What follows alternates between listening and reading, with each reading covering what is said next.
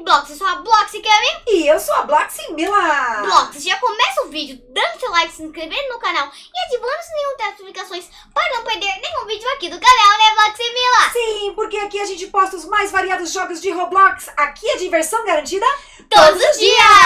Blox,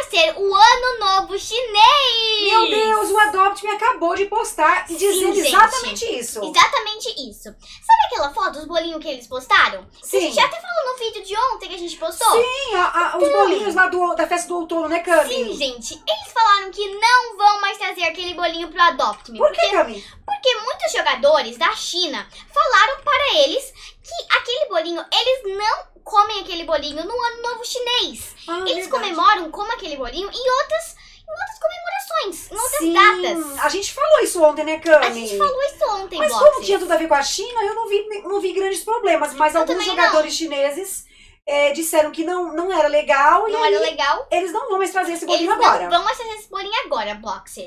Cami, Oi! e todo mundo quer saber que pet que vem esse ano, no Ano Novo Chinês, aqui no Adopt Me, Cami. Gente, o ano passado do Ano Novo Chinês veio o ratinho e o ratinho Gold, vocês lembram? Sim, porque o ano passado foi o ano do rato. Sim, gente, foi o ano do ra- Então, Blox Mila, explica aí sobre o Ano Novo Chinês pra gente tentar adivinhar qual pet vai vir esse ano. Ok!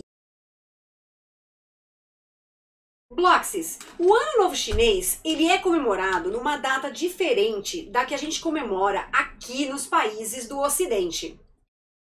O que que acontece? Lá na China, eles seguem dois calendários, tanto do Sol, que é o que a gente segue, quanto também leva em consideração a Lua. Então, o calendário chinês, ele é chamado de lunisolar. O que que acontece? Fazendo com que o ano novo chinês ele começa na noite da lua nova mais próximas do dia em que o sol passa pelo 15º grau de aquário. Bom, gente, a gente não entende dessas coisas. Mas moral da história, é, uma, é numa data diferente e essa data acontece no dia 12 de fevereiro.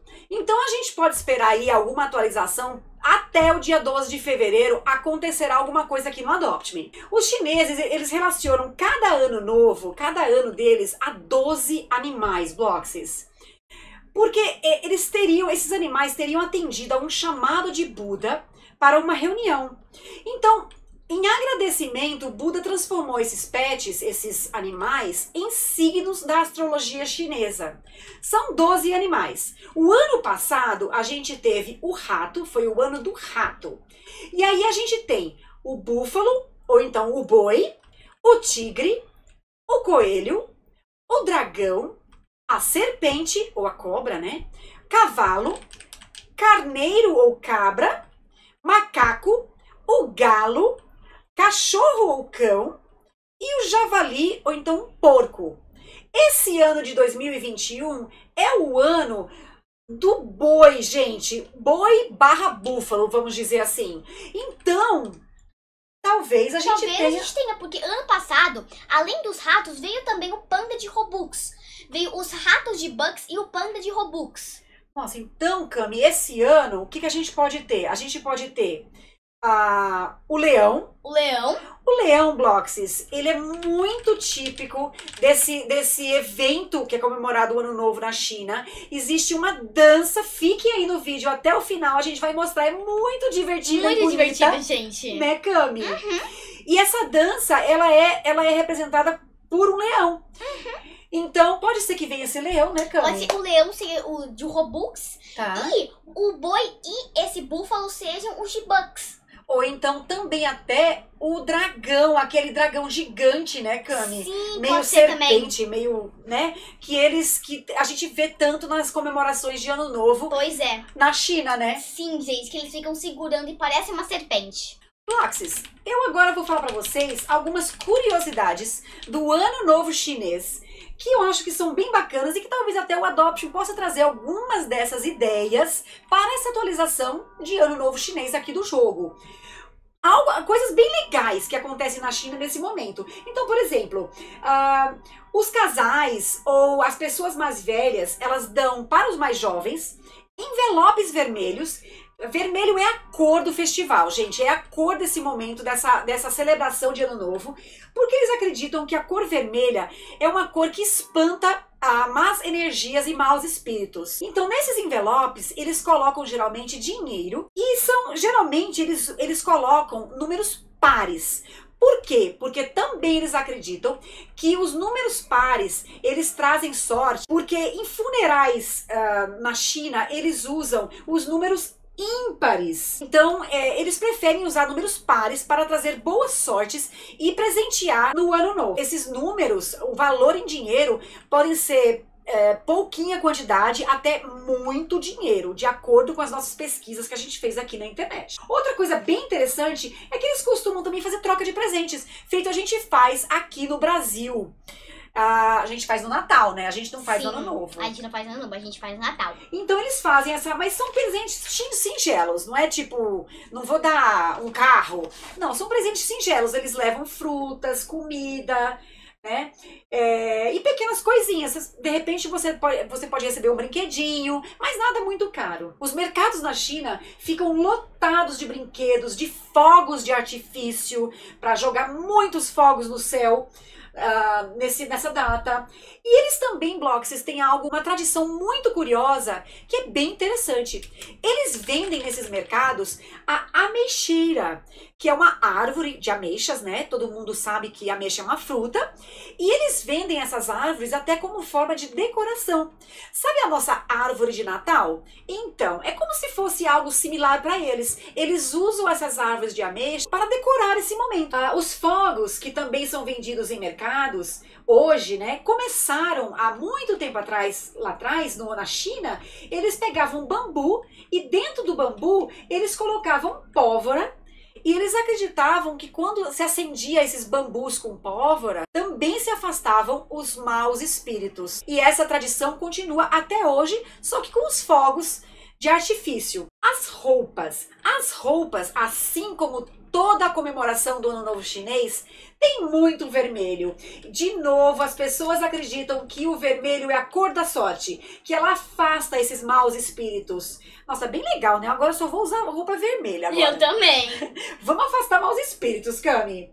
Será que afastam haters também? Nossa, Maximila! então, bora. Outra coisa bem interessante, Bloxes, são as flores. Os chineses, eu vou pôr pra vocês aí uma tabelinha. Eles vendem muitas flores nesses mercados e eles acreditam que cada flor tem um significado. A flor de ameixa traz sorte e fortuna. A fortunela traz prosperidade. O narciso traz prosperidade também. O bambu é uma planta dura, usada durante todo o ano. O girassol é um desejo para um ótimo ano. A berinjela é uma planta que cura todas as doenças.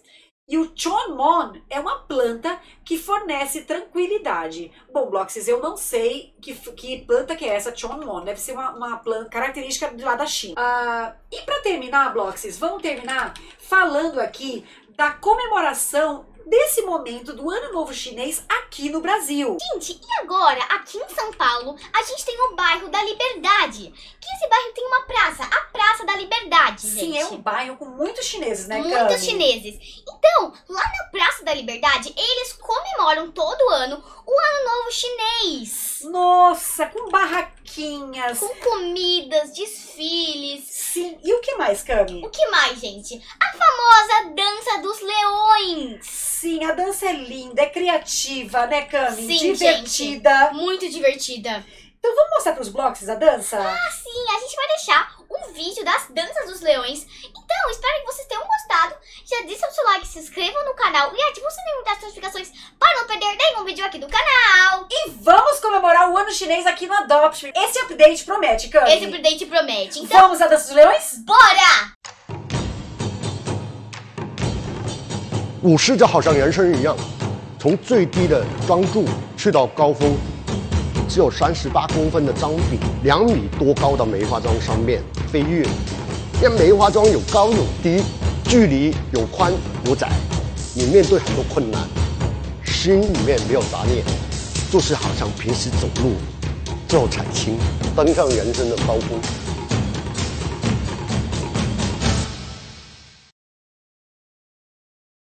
真正在零八年的时间就有了只是个小孩啊，他们不怕苦，从小呢在广西的山区通山跑，家里面都是有有点问题的，不爱读书，学校没他办法，训练呢包括他们的品性，什么叫礼仪，什么叫团体，跌倒就跌倒，没怕，不要怪谁，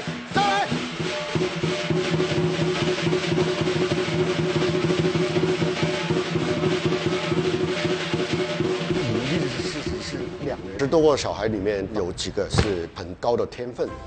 今年上央视春晚，通过春晚那么大的舞台，在几分钟里面，走，走，如果是没有下一代，舞狮就可能在档案才能找到，在博物馆才能看到。大家挺起来，坚持住。就是因为有那帮小孩，他可以传承更远。我们是希望在太阳底下就有五蓝丝，蓝丝的路越多人关注，它可以飞得更远，跳得更高。你们这个套路是有故事的，狮子呢是有它的内涵，舞的时候要表达出来，人事合一。西北一定要跟着狮头，首尾要合调。对不对？一、一、一、二、一一一二、一。